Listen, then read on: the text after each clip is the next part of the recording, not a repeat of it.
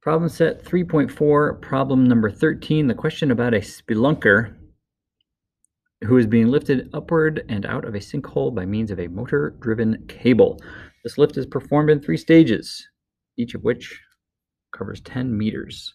First, they are accelerated from rest to 5 meters per second. Then they are lifted at a constant speed of 5 meters per second. And finally, it is decelerated to zero speed. And we want to know how much work is done on the 80 kilogram spelunker by the force lifting him during each stage. Now, here's something which arguably could have been described in more depth had we actually had the time to do so. But the big uh, idea here is when we're considering work is that work is done by each individual force. We've got a spelunker who is being lifted by a tension force and being pulled downward by their own weight. The tension force does some work and the weight does some work. We could find the work done by the tension if we knew the tension by solving for uh, tension times their displacement, uh, cos theta. Again, the dot product. But in this case, it's relatively easy because the tension is upward and the displacement is upward. So theta in this case is zero degrees. So cosine of theta is one. So uh, when it comes to the work done by gravity, that would be the force due to gravity, that would be mg, times the change in height, since they're moving upward, times the cosine of theta again. But in this case, since the displacement is upward, but the force due to gravity is downward, theta in this case is 180 so the cosine of 180 would be negative 1 times all of this.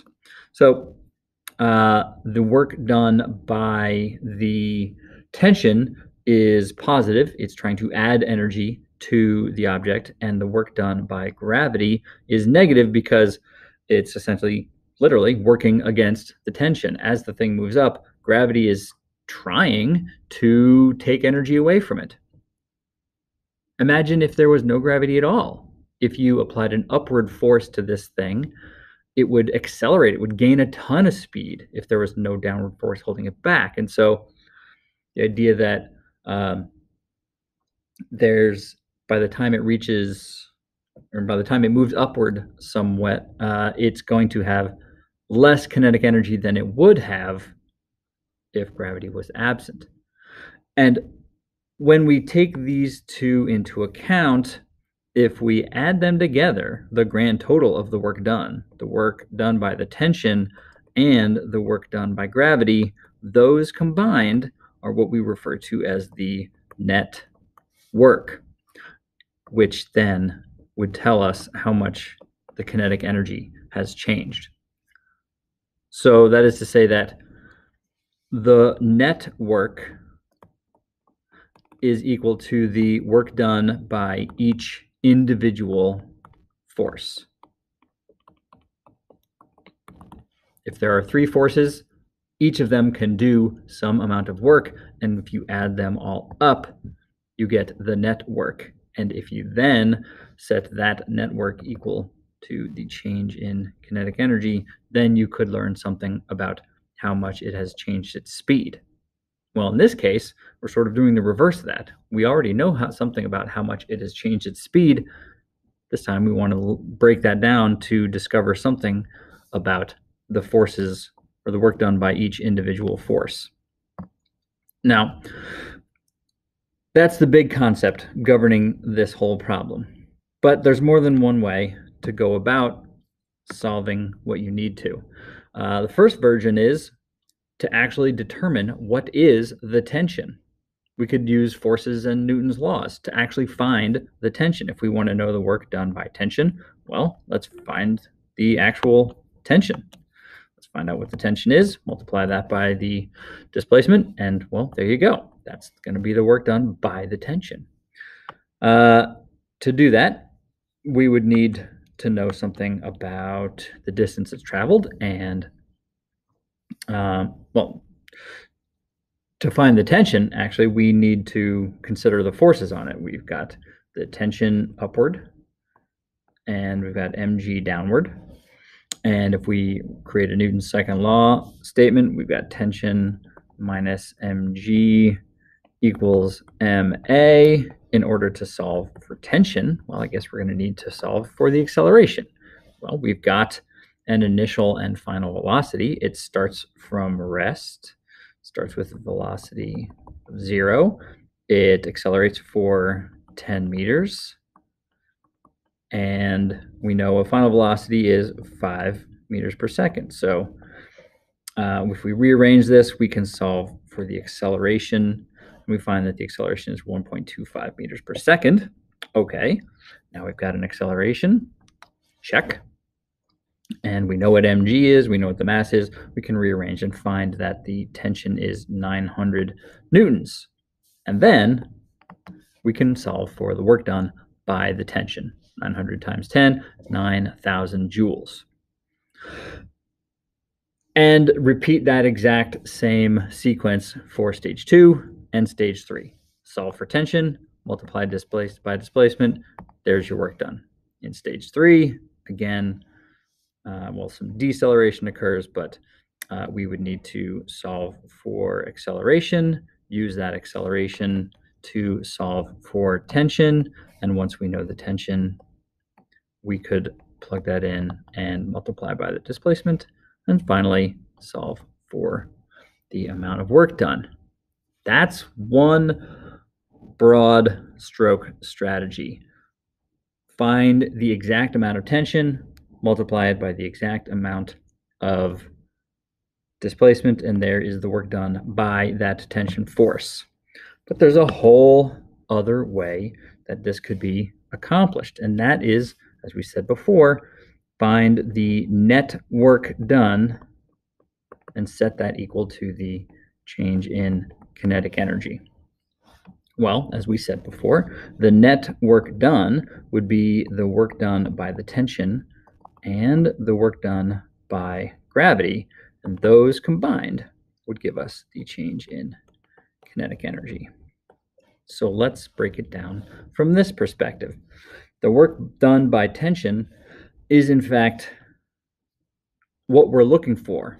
So let's just leave that as work done by tension. We don't even need to find the force if we can find everything else. So let's find everything else. The work done by gravity. Well, uh, the work done by gravity is going to be mg times the change in height times the cosine of theta, as we think we looked at that just a couple of minutes ago. Um, a diagram wouldn't hurt. Uh, we got mg downward, and this object is moving upward. And so the work done by an individual force is that force times the displacement times cosine of the uh, angle between them. So we're going to have the force is mg, the displacement is how far up it goes, change in height, and theta in this case, because mg is down and d is up, theta is 180 degrees. So cosine of 180 is going to be mg delta h times negative 1. So the work done by gravity is uh, negative mg delta h, whatever those things happen to be.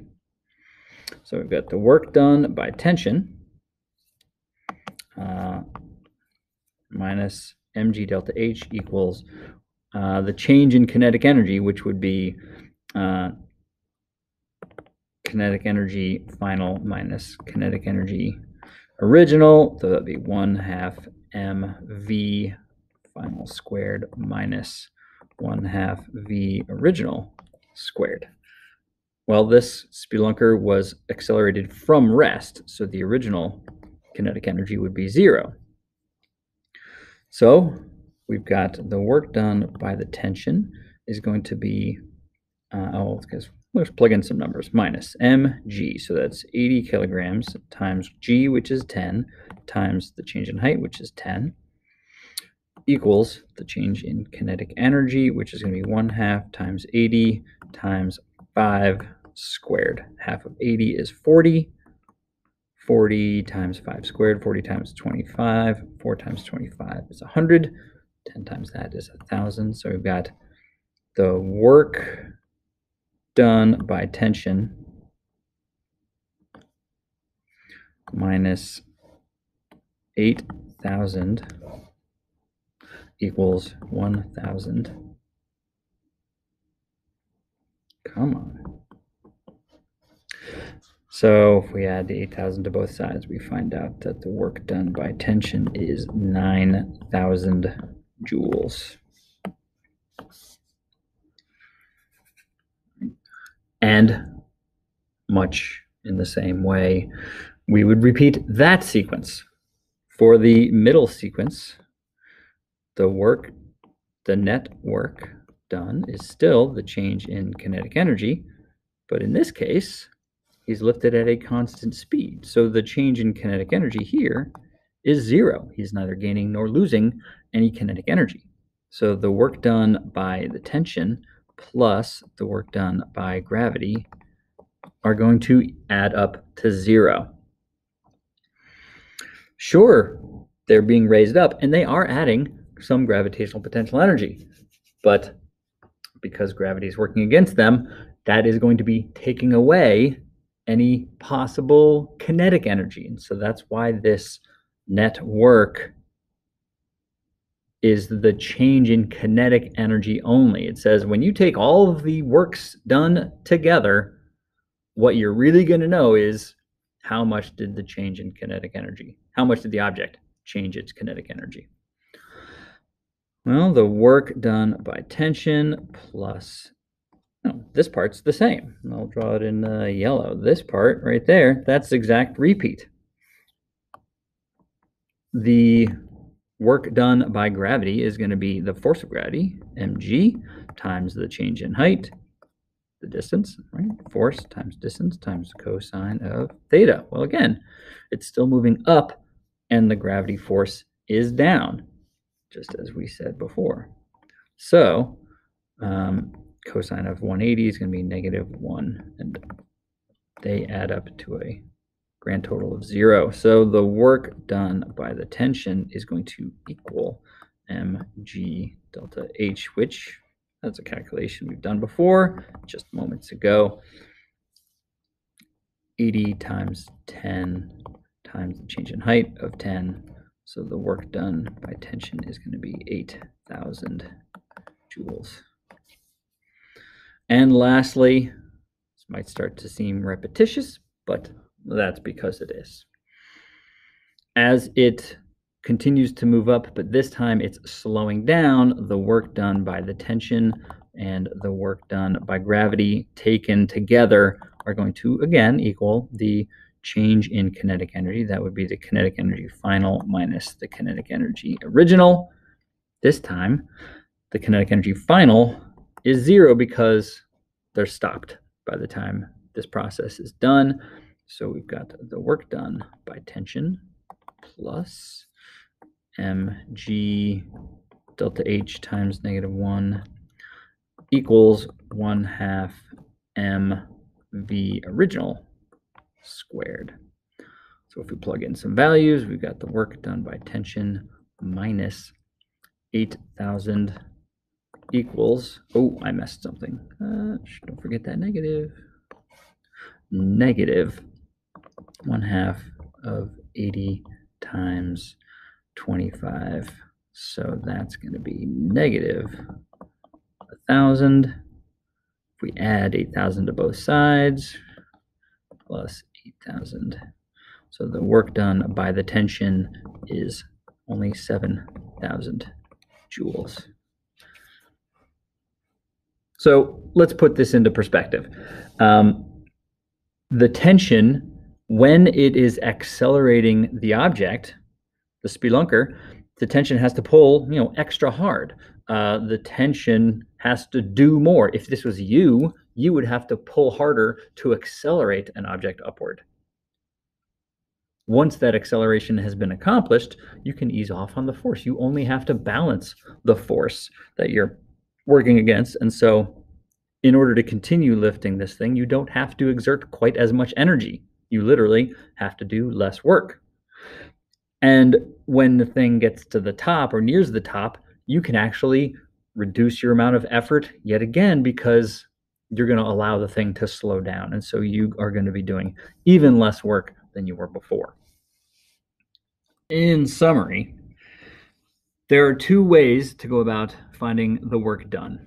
Work done can either be found by determining the actual force and multiplying it by some displacement times cos theta, of course, or determining the amount of kinetic energy gained or lost, and then accounting for the work done by each individual force, the work done by the first force and the work done by the second force. Um, and another way to say that is to say that the um, network that is being done is, as we just said, uh, the sum of the works done by each force, or we could also say that it is the um, work done by the net force. If you've got a force 1 times d plus a force 2 times d plus a force 3 times d. Well, if you factor out d, you've got d times force 1 plus force 2 plus force 3. Well, if you account for all of those forces, isn't that the net force? You've got d times the net force. So, yeah, it's heady stuff. There's a few ways to go about it. And as always with physics, if you do all the things right, you're going to get the same answer either way. Good luck to us all.